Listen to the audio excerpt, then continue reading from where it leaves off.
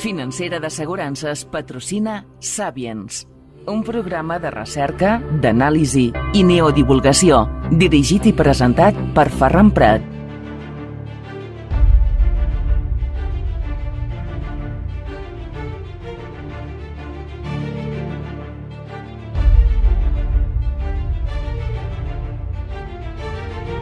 Salutacions, saludos, benvinguts, bienvenidos al Sabiens. Les habla su amigo Ferran Prat. Welcome también para los que nos escuchan de muy lejos.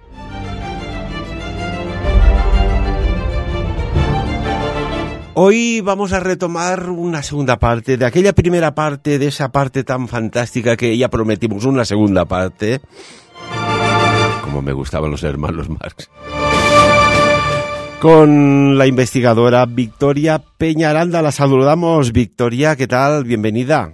Buenos días, bien hallado, Ferran, y bien hallados todos tus oyentes. Gracias, mil gracias.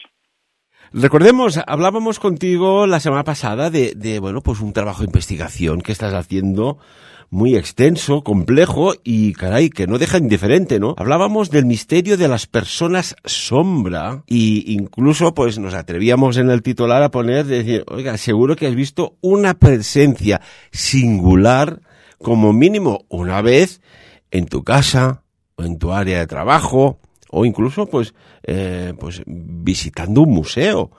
Mm, el lugar de estas apariciones, Victoria, pues puede ser cualquiera, ¿no? Sí, bueno, porque, porque este tipo de, entidades no está sujeto a que, o sea, lo que persigue es al individuo, no tanto el lugar, sino al individuo y, y a los individuos, obviamente. Entonces, por ejemplo, pues sí es verdad que, por ejemplo, los visitantes de fondo eh, salen mucho en fotografías cuando alguien está, pues como tú dices, ¿no? En un, en un museo, quizás en un restaurante, quizás en un en algún lado, entonces haces la fotografía, hay gente que los ha visto, eh, yo tengo una amiga de Ciudad Real que lo estuvimos viendo, lo vio ella realmente, yo no, y, hay veces que simplemente en la fotografía sale, se les llama visitantes de fondo por eso, porque visitan los lugares donde están muy concurridos y parece que lo que les gusta es exponerse, exponerse de alguna manera, entonces salen en las fotografías y hay, por ejemplo, en el Prado, me gusta ir, pero en el Prado hay muchos. No, no tiene nada que ver con el lugar, sino... perdona, Victoria, en el Prado te, te, refieres al museo que hay en Madrid, eh, el Museo del Prado. Sí, sí, sí, el Museo del Prado, sí es muy interesante el Museo del Prado. Sí, allí hay de todo, pero entre otras cosas, pues los, la gente sombra sí que está. Sí, y esto a veces hablas con las personas de, que están allí, de guías o eh, con los de seguridad, y te cuentan cosas. y entonces yo voy sacando información, de hecho lo voy grabando para que me cuenten las experiencias que tienen de qué es lo que ven, qué miedo les entra y, qué, y qué sienten. Y la mayoría, yo no creo en esto, pero mire usted, yo veo esto y me da muchísimo miedo y le he informado, pero nadie me hace caso. Es así. Mm. Mira, he abierto el, el canal de YouTube en nuestro espacio y te traslado, si no lo has leído, ya te lo traslado. Mira, eh, la entrevista gustó muchísimo y además eh, dice un oyente, esperando esa segunda parte, pues hoy estamos en la segunda parte. Y te saludan o nos saludan en este caso desde Virginia, Estados Unidos, seguimos mirando. A mí me gusta cuando ponen desde dónde nos escuchan, porque de vez en cuando pues tengo este espacio para decir, mira, pues nos escuchan desde, también mira, desde Colombia, desde Holanda, que nos envían un besazo desde Holanda, desde, a ver, seguimos, mira, pam, pam, pam, pam, desde San Diego, California, frontera con México. ¿Qué más? ¡Qué maravilla! Banning K, no sé dónde está, pero debe ser un sitio maravilloso. También, también, Victoria, a ver, seguimos bajando página aquí. Mira, eh, saludos desde la costa Pacífico de México en Oaxaca. Un abrazo también a todos nuestros amigos de allí. A ver, va, leo, leo un poco más, a ver, pi, pi, pi, si hay alguna, algún saludo desde, desde, desde, bueno, y el resto ya son, ya son personalizados. ¿Qué te parece, Victoria, si llegamos lejos? Uy, Mira, eh, las palabras como el viento, cuanto más lejos mejor, porque, a ver, eh, no se trata de ser salvadores de nada, no se trata de tener importancia, pero se trata de que a veces quizás una sola palabra da respuesta a alguien, da consuelo a alguien, da información que necesitas en ese momento para, boom, ese, ese cohete que te ponen para poder eh, tirar para adelante. Entonces, es simplemente, como tú dices, tu programa es neodivulgación, pero que la divulgación sirva y creo que eso, cuanto más lejos, mejor. Y, además es de agradecer que escriban desde tan lejos y se tomen la molestia. Así que un abrazo para ellos. Y, por ejemplo, Victoria, si volvemos a, a estas personas sombra. Claro, estamos hablando de presencias, manifestaciones. ¿Hay contacto? Contacto, mmm, podríamos decir, pues como ahora que estamos hablando. ¿Hay contactos? ¿Se comparte información? Mira que lo pregunto como si no lo supiera, ¿eh? Muchas gracias. Bueno, hasta hace, a ver, yo sigo diciendo, em, o sea, tengo que responderte de esta manera, me tengo que extender un poco para poder decir que sí, que se comparte información.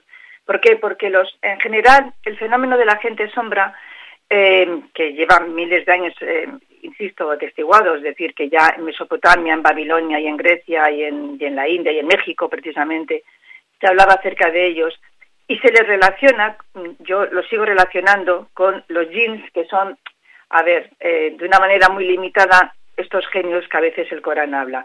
Pero no es así, es de una civilización, los jeans es una civilización anterior, muchísimo anterior, muchísimo antes de la adámica y que tienen conocimiento de ellos. De hecho, se les expulsó, se dice, por el conocimiento que tenían que compartían con los hombres.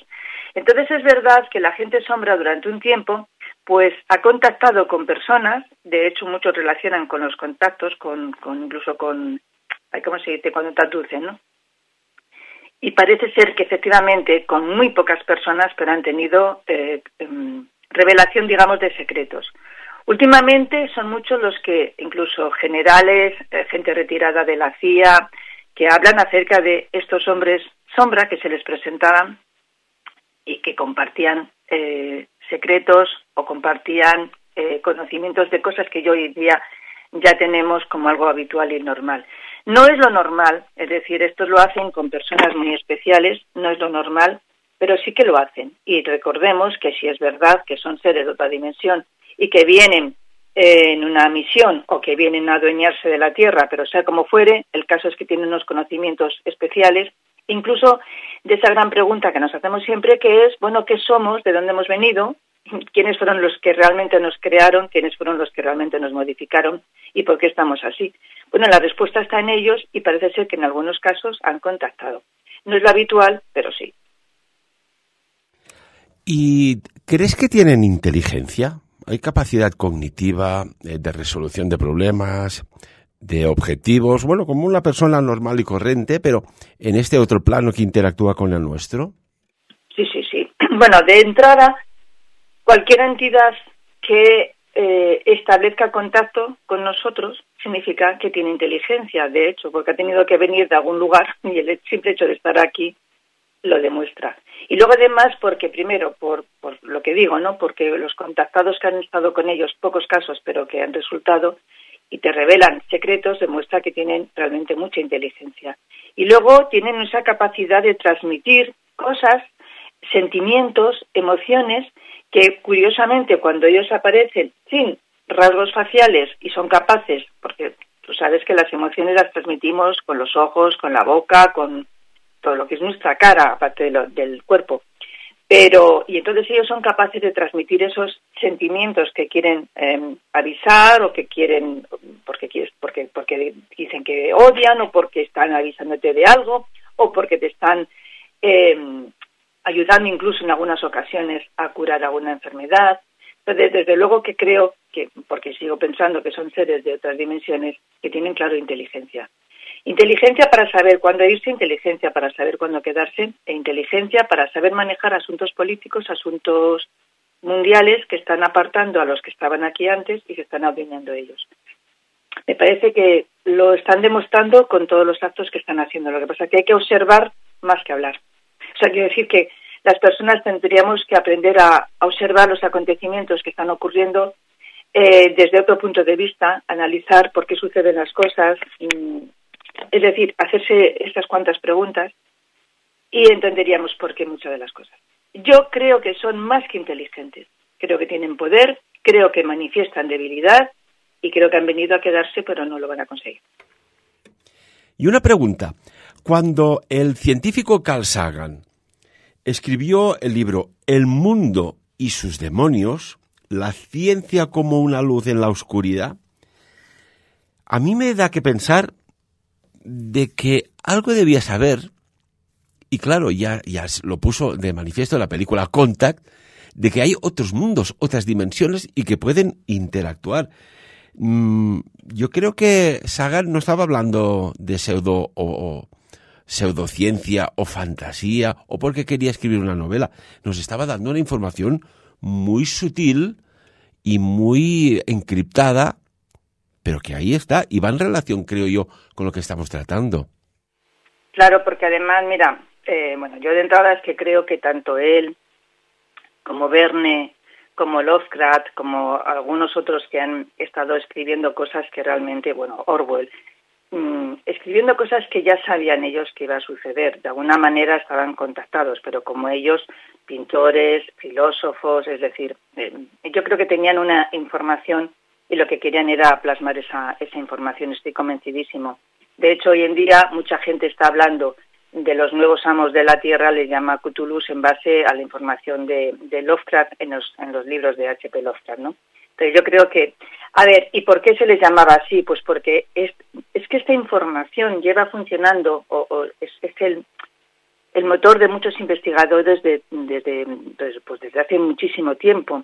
Eh, ¿Qué eran los hombres sombra? Demonios, ángeles, seres de otra dimensión.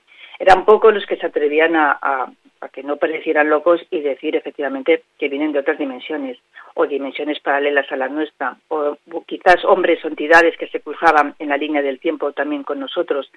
Pero yo creo que era eh, la información que ellos querían poner, lo querían hacer sinceramente para transmitir ese conocimiento. El problema es que esa información ha quedado como imprimado negativo, es decir, que la gente lo ve, lo ve como ciencia ficción y luego cuando ocurren las cosas de verdad, pues desgraciadamente la gente piensa que es, bueno, pues esto lo que escribió no sé quién o lo que en la película salió. Y desgraciadamente el efecto es el contrario. Pero efectivamente, claro que él. Y la ciencia está apoyando, de hecho, que hay otros, otros universos, otras dimensiones paralelas. La ciencia casi siempre tiene que ir con, digamos, con el tema espiritual, con otras versiones de la vida. Eh, son más prudentes, por decirlo de alguna manera, pero tienen que ir. Y entonces, desgraciadamente, este tipo de libros, este tipo de escritores y de personas estaban diciendo verdades como puños, pero al final, pues ves, perdón, la gente lo ve, pues eso, como el primado negativo. Bueno, tú lo has visto, esto está como un relato de ciencia ficción, ya no se cree, pero ellos sabían, y posiblemente porque ellos fueran también contactados. Yo lo tengo clarísimo. ¿Podría darse la, la coincidencia de que cohabitamos mm, seres biológicos con seres ya no biológicos y que de alguna manera a veces, ¿no? Pues eh, como dices, ¿no? Mm, hay, hay presencias. Yo conozco un caso, pero bueno, por trabajar donde trabajo no lo puedo revelar, si no, esto tendría consecuencias. Pero que era impresionante de esta manifestación que durante un tiempo aparecía en unos habitáculos y que había sido vista entre personal que algunos se conocían y otros que no se conocían y de diferente escala. O sea, algo se puede mover entre nosotros perfectamente. ¿Y crees tú que utilizan alguna tecnología para desplazamiento? ¿Sabes qué que decir? Nosotros utilizamos por el coche, la moto, el autocar, el tren, bla, bla, bla. Pero, ¿y caminar? pues caminamos con nuestra el, impulso. ¿Qué tipo de tecnología o, forma mm, material o inmaterial tienen para desplazarse? Que cuando los vemos los vemos que se mueven. Yo, em, a ver, yo no entiendo mucho de esto, pero sí que es cierto que se habla mucho de los, eh, agujeros negros, los gusanos de tiempo. Eh, hay una serie de, de, ¿cómo se dice? De, no tecnología, de medios para poder hacerlo. Cuando yo veo a los reptilianos, por ejemplo, y veo em, dónde están, mm, fíjate, es que no sé cómo explicarlo para que lo puedan entender. Es como si ellos estuvieran dentro de su plano y al mismo tiempo, como cuando salimos del buceo y nos vamos a la cámara hiperbárica, entonces les ves a ellos como una especie de, de eso, de cámara hiperbárica en un subplano así al mismo tiempo que están contactando con su mundo al mismo tiempo con, eh, con el nuestro, y porque si no, esos cuerpos tan pesados sería imposible que no los pudiéramos mover, de manera que tienen que moverse en ese, en ese espacio, no tiempo, y son súper mm, débiles para cualquier cosa que les queramos hacer. No entiendo realmente cómo lo hacen, no lo sé, pero sé que están. Pero lo mismo que sé que están, que nos cruzamos con líneas de tiempo, con personas, eh, con nosotros mismos incluso del pasado, y de esto tengo experiencias. Por ejemplo, me acuerdo hace tres, cuatro años, estando con mi sobrina y unos, unas amigas, estábamos paseando por el Parque del Retiro en Madrid, y, yo me fijé que había gente vestida de, época, con sus carritos, paseando niños de época, pero del año 1800 y pico, y entonces yo pensaba que era un desfile que se estaba haciendo allí, y le comentaba a mi sobrina y a mi amiga, vamos al desfile, vamos a verlo, mira qué bonito, qué tal. Eh, fue mi sobrina la que se dio cuenta y dijo, sí, sí, son muy bonitos, son muy bonitos. Y mi amiga era la que dijo, no hay nada, no existe. Eh, sí, sí, los estamos viendo, no, no existe. Bueno, y a veces sucede que te encuentras pues con gente del pasado o con uno mismo. También hay personas que me hablan acerca de eh, me he encontrado a mí misma, porque dentro de nosotros existen otras líneas paralelas. El cómo funciona honradamente no, no lo puedo decir, no soy tan especialista en esto, pero sé que desde luego lo hacen. ¿Cómo se mueven en el tiempo? Pues porque siempre hemos pensado que el tiempo es lineal, pues seguramente el tiempo es curvo y entonces tengan más facilidad, por las razones que sean, para poder venir aquí tanto los del pasado como los que están en otro lado. Que tiene que ser rápido, muy rápido, pero que llevan aquí millones de años, entonces a lo mejor es, eh, pues no lo sé, esa tecnología que ya supongo que tendremos nosotros en muy poco tiempo, la están utilizando ellos. No te puedo contestar raramente cómo lo hacen, pero sé que lo hacen. ¿Es lo mismo, por ejemplo, las personas sombra? Claro, decimos sombra y siempre lo atañimos a algo de oscuridad, ¿no? Pero puede ser persona sombra, pero de luz. Que, pues bueno, ¿cómo decirlo?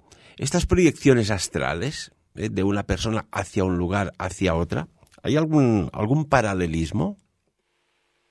A ver si entiendo la pregunta. Los hombres sombra, primero, son sombra porque efectivamente eh, denotan una oscuridad tremenda que va mucho más allá de la propia oscuridad de la habitación donde estén. y son sombras porque realmente van siempre, son, son, eh, su aspecto es negro, negro, negro. No creo que sean seres de luz, lo que no significa que no pueden ayudar en algún momento dado, porque todos en el universo tenemos libre albedrío y entonces ellos, si, si lo que yo estoy investigando, que es la relación de ellos con los jeans, es decir, con esa otra civilización anterior a la adámica, que tenían muchísimo poder y muchísimo conocimiento, pues ellos mostraban que de alguna manera cuando querían ayudaban a los seres humanos, de hecho se les expulsó, digamos, de este plano porque estaban compartiendo ese conocimiento. Entonces, sin ser seres de luz, pero digamos que pueden ayudar. Y luego a lo que tú te refieres es eh, a, los, a las energías que se desprenden de nuestros pensamientos, como los tulpa o una cosa así, ¿te estabas refiriendo? Bueno, lo que es una proyección astral, ¿no? Es decir, yo estoy aquí ahora en, bueno, en un lugar y con el pensamiento, pues te vas relajando, te relajando y desprendes tu cuerpo astral de tu cuerpo biológico y te proyectas, pues bueno, pues, a, un bosque, una ciudad o, una biblioteca o, o donde sea. Me refería a esto, Victoria. Sí, pues sí, sí, eso, y esto sucede muchísimo. Eh, tenemos un amigo en común, Oscar Mateo, y con Oscar he hecho alguna que otra, hemos hecho esto, ¿no? Eh, intentar salir o intentar con, a través de una regresión y, y personalmente mm, me ha llevado a una ciudad que yo pensaba que era simplemente algo que estaba en mi mente pero realmente existía, había movimiento, se me informó, se me dijeron cosas y eh, el que sabes que entiende perfectamente porque mi gran maestro, pues me mencionó esto. Entonces sí que tenemos esa capacidad. Llamémoslo proyección astral, llamémoslo viaje astral, pero tú, uno tiene la capacidad de poder salir de aquí e ir a otros sitios. De hecho, se dice que esas ciudades intraterrenas, santas tipo Shambhala y otro más, pueden ser visitadas es verdad que necesitamos a veces que nos inviten, ¿no? Porque tenemos que tener la vibración adecuada. Pero desde luego estoy consciente de que es así. Y es más, en algunos momentos, cuando hacemos esas proyecciones y vamos a otros sitios, pues vemos que la gente o los habitantes de donde estemos nos han reconocido. Em, por lo tanto, vuelvo a repetirte que tanto los que vienen de fuera como nosotros somos capaces de viajar en el tiempo, viajar a otros sitios, ¿es una proyección o es que realmente nos plantamos allí? Pues sí, yo creo que es que nos vamos para allá. Sí. Yo siempre he dicho y he pensado, y lo tengo clarísimo, ¿eh? cuando tú, por ejemplo, estás soñando, vamos a poner un ejemplo sencillo, que no sueña, bueno, yo soñar le digo algo bonito y pesadilla es algo más menos bonito, ¿no? Pero cuando estás en, esta fase, si sucede, pues oye, son procesos eh, neurales que del cerebro y ya está. Pero cuando tú estás interactuando, estás modificando aquel presente de ese supuesto sueño, entonces aquí estaríamos hablando de una proyección astral. Si además tú ves algo que jamás has visto, con todo lujo de detalles, pues lo que sea, puede ser una ciudad, una población, un mundo desde, desde la suspensión en el aire, pero si tú modificas aquello, es que estás interactuando, por tanto, esto es real. Si además tienes una prueba cuando despiertas o vuelves de que hay una información allí que la has visto y aún no ha sucedido aquí, señores señores, usted se ha movido por una línea temporal del plano astral. ¿Qué, opinas, mm, Victoria? Estoy de acuerdo contigo. De hecho, siguiendo con el ejemplo de Oscarillo, pues em, eh, cuando fuimos a donde fuimos, se me dio a mí personalmente una información que aún no había sucedido y unos meses más tarde, tal, exactamente tal como me dijeron, sucedió. Em, y además es que tenemos que recordar que es el pensamiento. Siempre, el pensamiento es la manifestación de la energía. Quiero decirte em, que cuando uno piensa, ese pensamiento, como es una energía, tiene que plasmarse en algún lugar. Pues tenemos la capacidad de crear, tenemos la capacidad de viajar, tenemos la capacidad de interactuar, porque es que este, es la, lo, lo, más grande que tiene el ser humano, ser co-creador, y como eres co-creador con Dios, tienes esas habilidades, ¿no? Y entonces fíjate que cuando tú estás e, en esa proyección astral, en ese sueño que además el espíritu sale libre, y tú estás viendo cosas, te dan información, ves personas, puedes describir eh, sitios, puedes describir formas, puedes describir mm, situaciones, puedes describir mm, paisajes que no, que no son conocidos, es decir, puedes describir personas o cosas novedosas que tú estás haciendo te has, ido en la línea de tiempo y te has ido al, futuro, al pasado, a donde te haya llevado. Pero yo creo, y esto creo además de verdad honradamente, que muchas personas sin querer también lo están haciendo, más si lo intentan hacer con alguna persona, con ayuda, ¿no? Pero que podemos hacerlo, podemos hacerlo. Que por esto ellos también vienen del pasado, se hace nosotros de un futuro o se hace nosotros del pasado y como dice Jean-Paul Garnier, ¿no? tenemos el yo cuántico que lo tenemos en diferentes futuros y también estamos en diferentes pasados. Yo tengo una teoría desde AS, de la Asociación de Senadores Espirituales a la cual pertenezco, eh, cuando nos enseñan en los cursos, pues se nos enseña que cada vez que nosotros hemos vivido vidas, en estas vidas ha quedado una parte de nuestra alma, una huella de nuestra alma que puede ser visitada en cualquier momento mm, desde el pasado hacia nosotros y desde el futuro hacia nosotros. Entonces creo que continuamente estamos interactuando, que nos ponemos en una línea de tiempo y vamos a donde podamos y que lo bonito sería poder mm, por las noches programar, programar ese sueño para que podamos hacer. Y esto no cambia, como dicen algunas personas, no cambia la historia, no cambia, pero nos cambia a nosotros. La información que se nos pueda revelar o que podamos ver nos puede cambiar desde el interior. No va a cambiar el destino, aparte de que creo que el destino se puede cambiar cada vez que uno quiera. ¿Conoces alguna persona que haya realizado pues mm, sutilidades utilizando estos recursos? Yo, yo si quieres te, cuento un, un, caso y, tú también. ¿Te parece? Sí, sí. yo recuerdo en clase, yo la verdad es que he tenido siempre la suerte de estar cerca o, o a veces ellos cerca de mí, no sé, de, de, de personas realmente extraordinarias cuánto hemos compartido y aprendido. Y recuerdo, por aquella época de BUP, que tenía al lado un, un figura que siempre, fíjate lo que decía, me decía, yo sé las preguntas del examen. Digo, y al principio, anda, ¿sabes lo típico? Digo, nada, a estudiar, ¿qué es lo que toca? Que no, que no, que yo ya sé las preguntas. Pero ¿cómo puedes saberlas si ha dicho el profesor que aún, que tiene que preparar el examen. Que sí, Ferran, que yo las tengo vistas. Y bueno, ahí quedaba. Y después, pues bueno, yo pues hacía caso mismo, quedaba en la anécdota. Hasta que un día digo, oye, pero ¿qué preguntas va del examen? ¿Qué va a preguntar? Vamos a ver. Y, nos jugamos unas patatas bravas y una Coca-Cola ese día.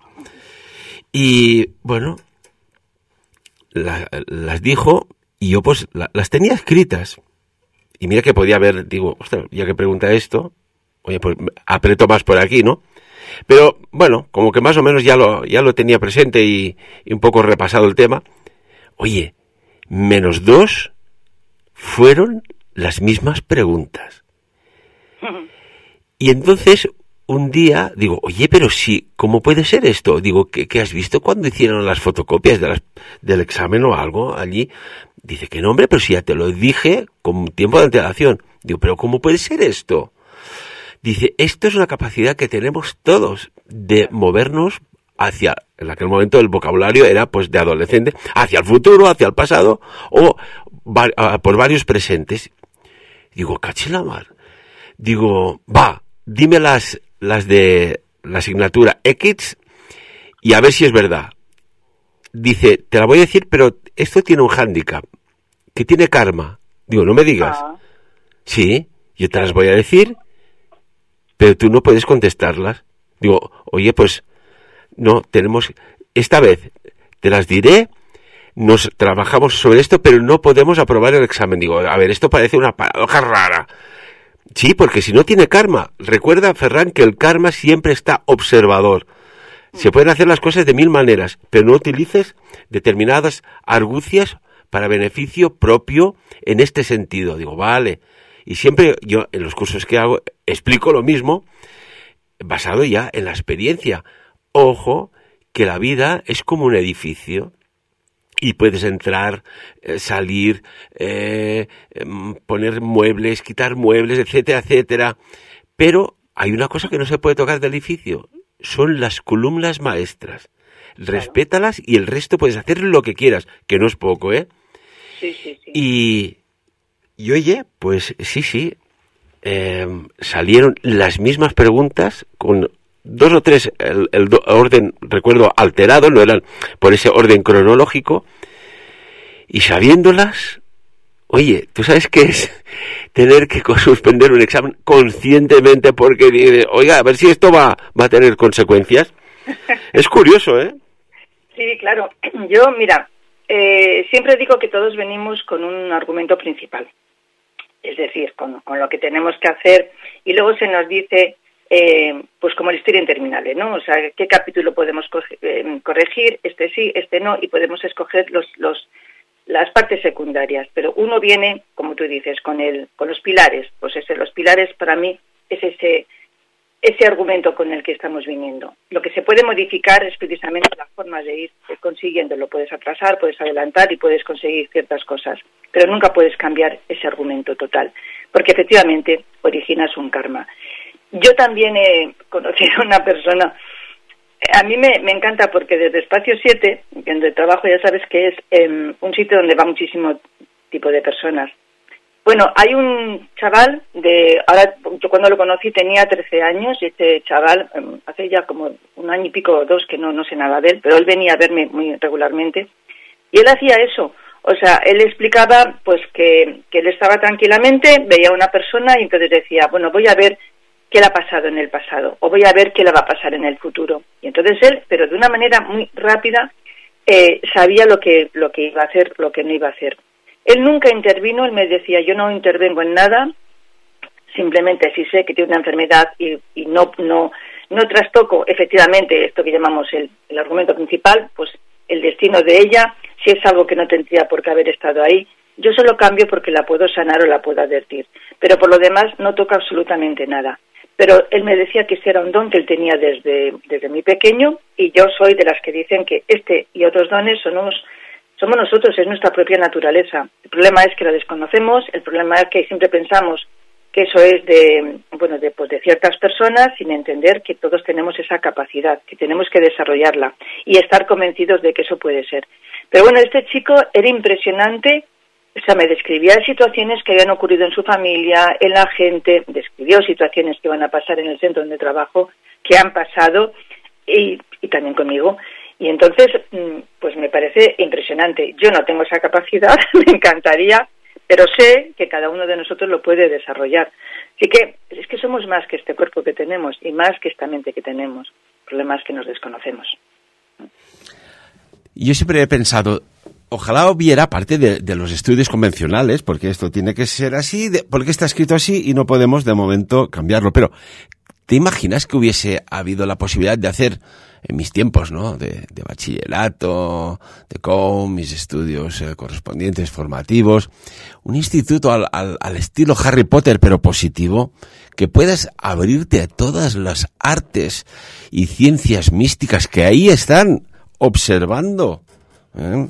Que a veces, mira, hasta hace dos días los árboles eran árboles y ahora se sabe científicamente que se comunican. Oiga, que tenemos unas capacidades más allá mm, de los vegetales o los animales, sino como seres humanos que somos y otros seres terrestres que también deamulan entre nosotros, capacidades extra ¿eh?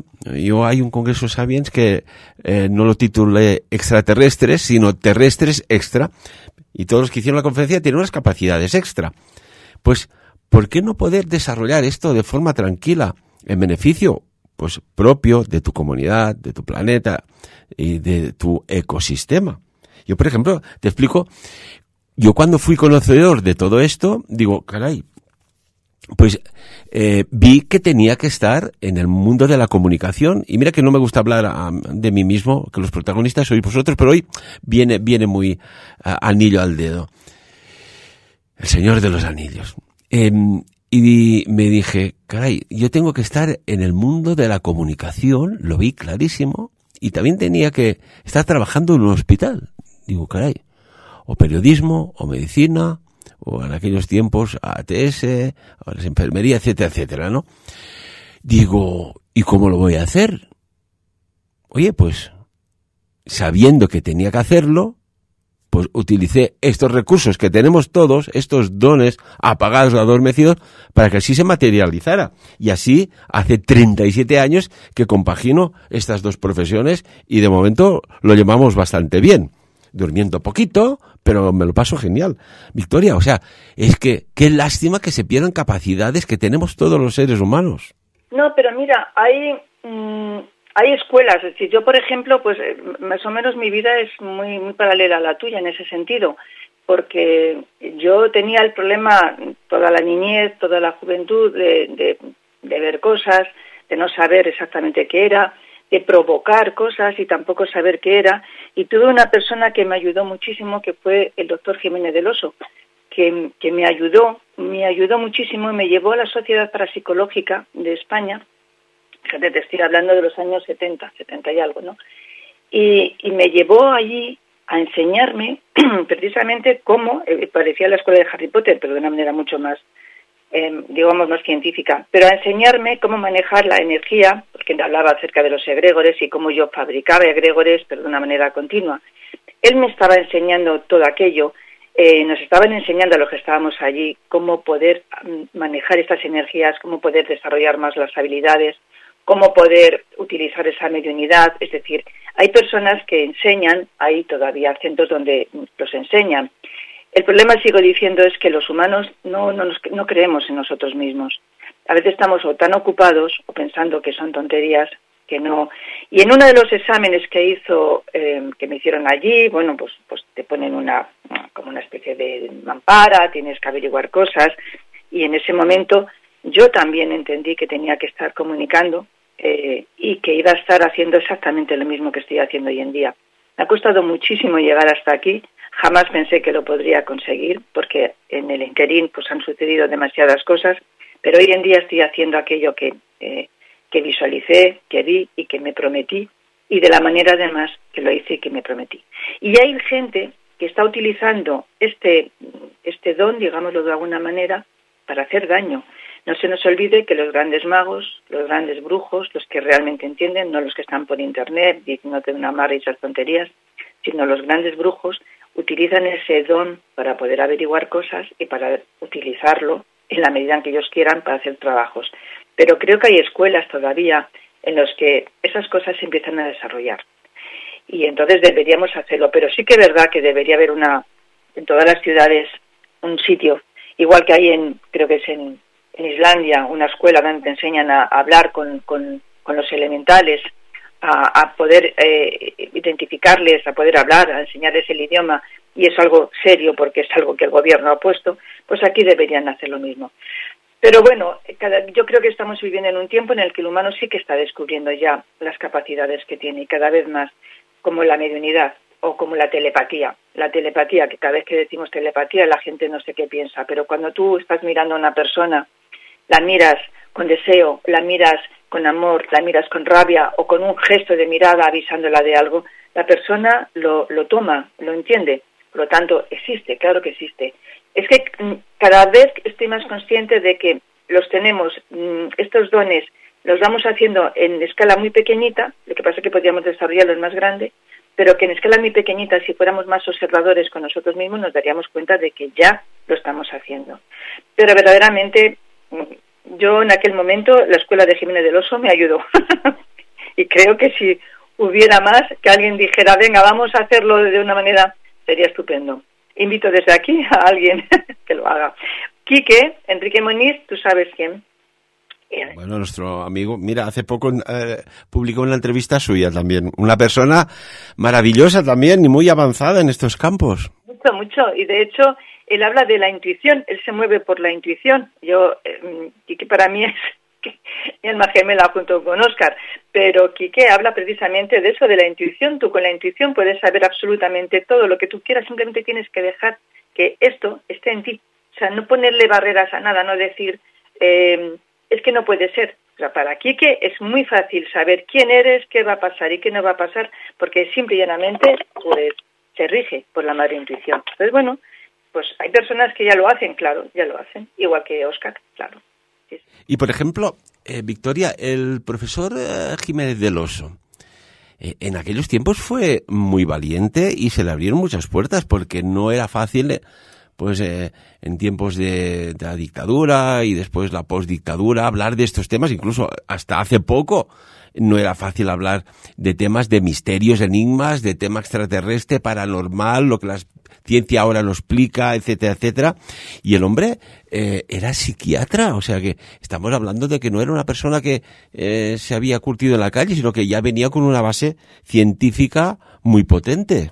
Sí, era un personaje muy, muy especial al que yo de verdad toda la vida le estaré agradecida, toda la vida. No tengo vida para agradecerle lo que hizo por mí, porque además era un momento muy complicado en mi vida y, no sabía cómo manejar pues lo que ahora puedo manejar. Fue muy valiente, de hecho ahora mismo creo que empiezan, tanto en canales de Telegram como en la Quinta Columna y otros más, empiezan a poner parte de sus charlas, lo que él decía. Era una persona muy valiente que también tuvo muchas consecuencias porque le costó mucho seguir con su trabajo de, psiquiatra, eh, mantenerlo, que no dijeran ciertas cosas de él, pero también tuvo problemas familiares, aunque el hijo es una persona deliciosa y también sigue su camino. Pero fue valiente, fue avanzado eh, y además era una persona extremadamente generosa con los demás. En el momento en que veía que alguien, pues como en este caso yo era una cría, que tenía aparentemente un potencial, él ayudaba muchísimo. De hecho, él no solamente me ayudó a ir a la sociedad parapsicológica a ayudarme a, desarrollar ciertas cosas, sino que me puso en contacto con otra persona también para mí muy especial, que era el padre Pilón, que era el primer exorcista que la Iglesia Católica, em, bueno, admitió como exorcista, que también me enseñó parte del trabajo que estoy haciendo ahora.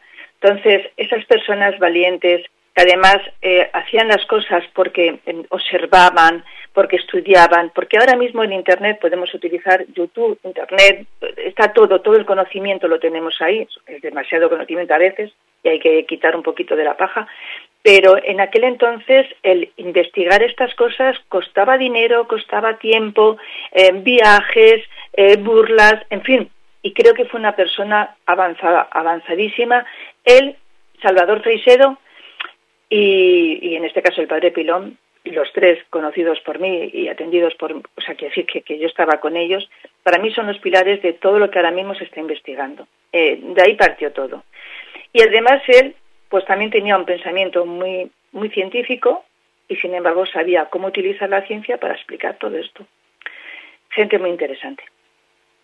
Ya que hablas del padre Pilón, mm, y como un gran exorcista, ¿crees que, por ejemplo, estas personas sombra pueden llegar a usurpar o ocupar un cuerpo de una persona e imbuirla, pues, a unos comportamientos extremadamente anómalos?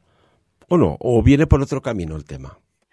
A ver, normalmente las posesiones, tal como aprendí de él, tal como lo sigo haciendo ahora, porque es a lo que me dedico, eh, normalmente suelen ser de espíritus desencarnados o entidades de otro plano. Es rara la posesión por la gente sombra, pero rara no significa que no se dé. De hecho, el otro día yo contaba una experiencia que tuve en mi lugar de trabajo, en EU, eh, un señor que vino a verme, oh, aquello fue terrible, vamos. Este señor vino a verme para decirme que él entendía que en su vida había pasado algo y que no era él y que bueno, pues yo decía, bueno, pues esto es una posesión, vamos, siempre tienes ahí como cuatro o cinco cosas que coinciden y por lo tanto tienes casi casi como un protocolo. Entonces en un momento dado yo iba eh, quedándome adormecida. Eh, tengo la mesa de despacho, él estaba enfrente, yo en la silla, y yo iba notando que me iba quedando dormida, no lo siguiente, o sea, era una cosa rarísima que me estaba pasando. Entonces intenté reaccionar porque dije, bueno, ¿qué, qué sucede? Pero ya casi casi en el suelo. Cuando tomé un poquito de fuerza, me incorporé, este señor abrió la boca, y yo te lo juro por lo que más, no me da miedo, eh, y de su boca salió una sombra que a medida que salía era pequeña, se fue extendiendo y después se quedó por, por la pared, el hombre se, se, se desmayó, yo creo que me hice pipí y entonces, pues la sombra, bueno, mm, conseguí controlar, creo que la, la, pude echar porque desapareció, bien fuera porque la pude echar o bien fuera porque ella desapareció, pero se fue. Y la posición que tenía este hombre, pues era de esta gente sombra, porque es exactamente igual que lo describen en ciertas eh, apariciones o libros, le pasó lo mismo.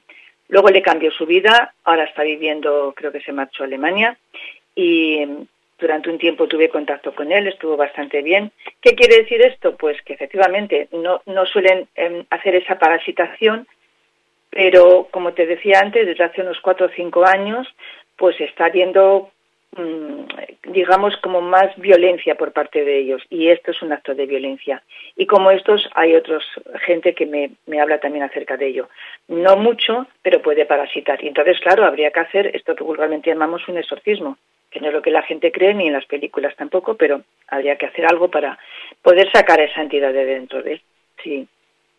Y ciertamente desde hace unos cinco años aquí, más o menos, ¿eh? meses arriba, meses abajo, año arriba o año abajo, los que estamos en estos campos, he observado, pero una auténtica flandemia, porque ya sabemos que hay que utilizar palabras así, una flandemia de narices, de comportamientos extraordinariamente anómalos, antagónicos con la humanidad, con el respeto a las personas, con el respeto a la economía doméstica, y la gente no lo ve.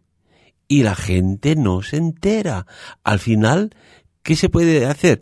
Eh, la sociedad o las personas tienen lo que se merecen o hay que pues instruir eh, dar recursos o al menos básicamente información de que, oiga, lo que está le, está pasando a usted o a su entorno, ¿no ha pensado que puede venir por otro lado? ¿O simplemente es que no, ve, no ves esto que te está sucediendo, lo tienes delante de las narices y te está usurpando tu energía vital?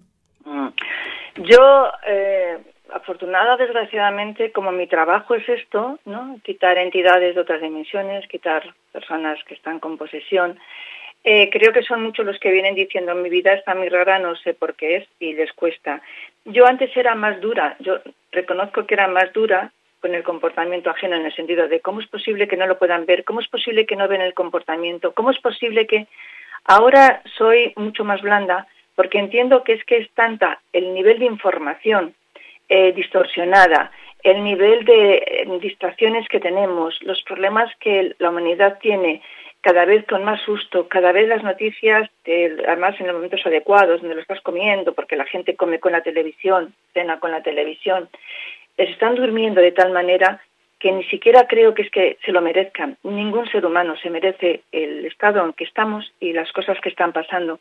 Creo simplemente que están dormidos porque, bueno, pues porque no ha llegado su momento y porque las distracciones son muchas. Entonces lo que tenemos que hacer somos los demás, no tanto ellos como los demás.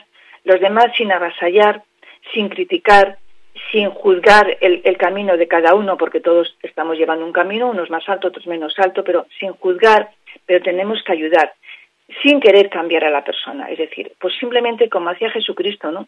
Jesucristo utilizaba mm, preguntas retóricas que hacían pensar a la persona. A veces, como te decía antes, pues en una conversación banal o en una conversación como la que estamos teniendo ahora, pues simplemente quizás una palabra sirva para que esa persona diga, ah, pues, pues a mí esto, ah, pues esto quizás. Entonces, todo lo que podamos hacer por los demás en una conversación sin, sin imposición de la verdad, porque la verdad absoluta no creo que la tenga nadie, pero sin imposiciones, mm, pues escribiendo, pues hablando, el comportamiento, eh, viendo la diferencia, no lo sé, pero no es una cuestión ya de ellos, es una cuestión de los que estamos o creemos que estamos despiertos estamos en ese camino de poder hacerlo, porque verdaderamente ya la humanidad se está convirtiendo como el Mar Rojo en dos, se, ha dividido en dos, se están dividiendo en dos. Los que están en ese camino, los que, los que están todavía muy dormidos, y no vamos a juzgar a los que están dormidos. Lo que tenemos que hacer es cosas suaves que les pueda despertar. Si a una persona le despiertas que está dormido y le despiertas bruscamente, la respuesta va a ser violenta. Si lo hacemos suave, pues podemos llegar a despertarlos. Entonces, las pequeñas charlas que podamos dar o las grandes charlas los libros, el conocimiento que hay en Internet, una conversación, insisto, la conducta que uno tenga, ayuda. Y no te creas, hay gente que está empezando ya a relacionar qué, está pasando en su vida. Yo pensaba que cuando la pandemia eh, las personas iban a estar muy dormidas, pero precisamente eso ayudó a despertar. Mucha gente se ha preguntado, ¿qué pasó? ¿Esto realmente es así? ¿Esto es de verdad? Esto y mucha gente que yo no pensaba, pues ha reaccionado. De manera que siempre estamos a tiempo de despertar, pero creo que es el peso que da más en los que estamos despiertos o creemos que estamos despiertos que en los demás. Qué interesantes estos temas, ¿eh? a mí a mí me, me apasionan. Eh, em, yo de, jovencito había hecho una, alguna, una, mira, creo que es de, la, de las pocas tremendurías que he hecho así más sonada. ¿Sabes qué hice? ¿Qué hiciste? Siendo consciente de todo esto que estamos hablando, ¿eh? ahora lo tengo mucho más amplificado, documentado, argumentado y contrastado, pero eh, íbamos a coger un amigo mío y yo eh, agua bendecida, con un, frasquito. Y, aquello cuando decíamos, uy, allá qué mala onda, y mira aquella persona, ibas, no de cara, ¿eh? sino por el lado así, le decías, le echabas un poco de esa agua bendita, y en muchas ocasiones no pasaba nada, pero, oye, Victoria, una vez y soy convencido de que no pudo notar esa agua, que no le cruzó la ropa, que no le tocó la piel para nada, solo se echó en esa gabardina, yo jamás creo que he visto pasar de cero a mil millones y más de veces un comportamiento agresivo girándose hacia atrás y mm, vaya, no nos escupió fuego porque no era un dragón. Con esto ya lo digo todo. O sea que no está de mal tener agua bendecida o agua purificada o algo, un recurso para decir, oye, mira, es que mi pareja, vamos a poner un ejemplo, mi pareja tiene un comportamiento últimamente extremadamente extraño y yo sigo siendo el que soy o sigo siendo la que soy. Oye, pues haz la prueba, échale un poquitín de agua bendecida. Así, a, ver, a ver qué pasa. Porque a lo mejor hay sorpresas. Porque si no, ¿dónde sabes que está el enemigo? Eh? ¿Cuántas veces? Incluso hay una película que se titula Durmiendo con el enemigo. A lo mejor te levantas de la cama tan debilitado o debilitada y dices, pero si es que no he descansado esta noche. ¿Y si te usurpan la energía? Este es un tema profundo también, ¿verdad? Pues voy a añadir algo más a esto, que estoy de acuerdo contigo. Yo, es que además es verdad que sucede. Mira, yo tengo normalmente, eh, pongo a hervir agua y cuando el agua está a punto de hervir, apago y en una fuente que tengo de cristal expresamente para esto, pongo tres cristales, tres, tres, eh, ¿cómo se dice? Mm, ahí, lo tengo en la mano y no lo digo. Eh, cristales, cuarzos. Cuarzos, perdón, cuarzos, cuarzos transparentes y los pongo en forma de pirámide. Y dejo que el agua enfríe con los cuarzos, esa agua. Después a ese agua le echo, o bien si tengo agua florida, que me gusta mucho, pero siempre, siempre tengo un poquito de agua bendita. siempre. Que además mm, la traigo de una amiga que tengo en Galicia y me la traen directamente de allí, del obispado.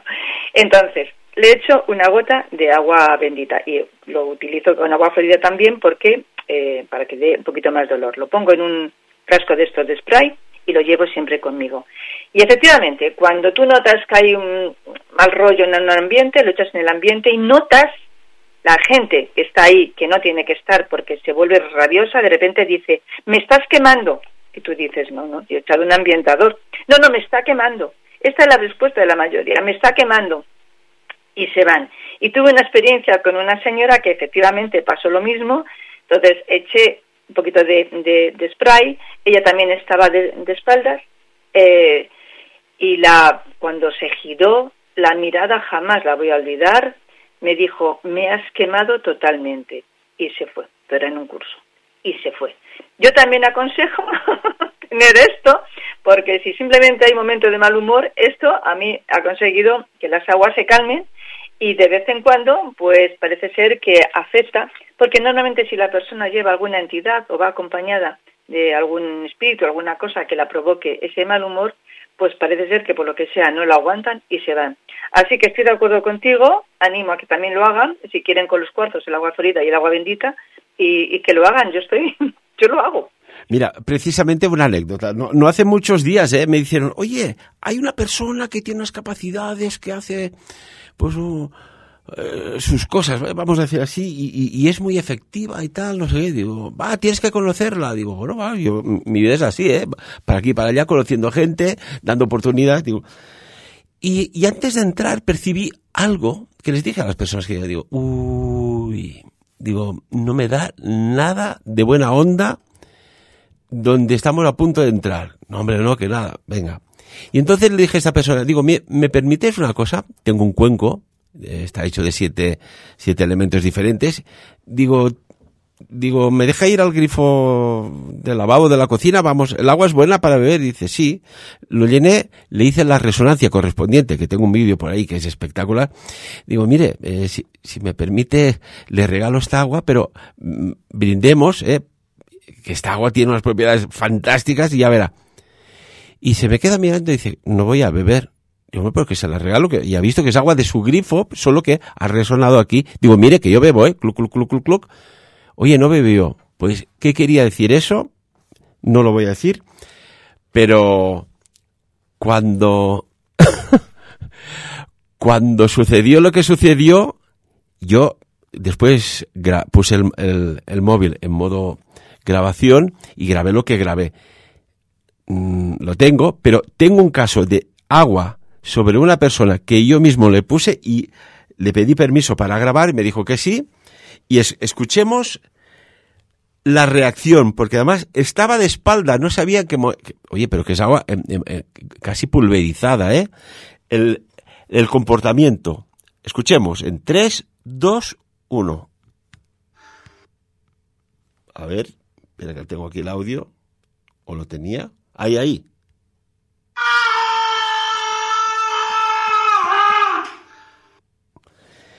¿Qué te parece? Uy, pues como esta señora.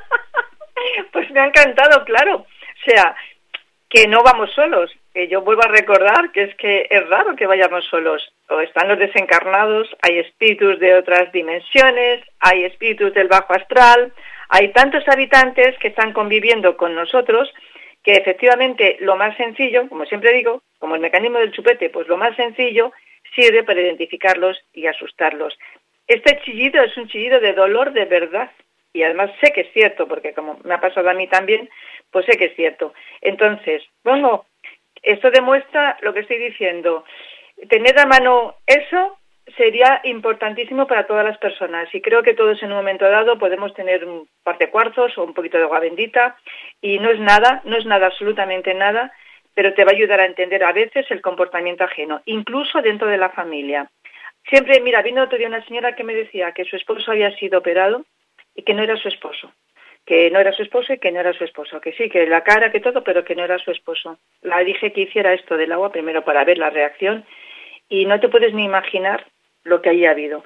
Entonces, hay que trabajarla. Bueno, pues, em, pues eso, es que, mm, pero las cosas más sencillas tienen el poder de revelarnos las verdades. Así que, vaya chillido, consérvalo, es una demostración de que esto sirve. Cuando, cuando me jubile del mundo laboral, eh, me prometo a mí mismo escribir un libro. Y porque entonces ya tendremos más tiempo para eso, ¿no?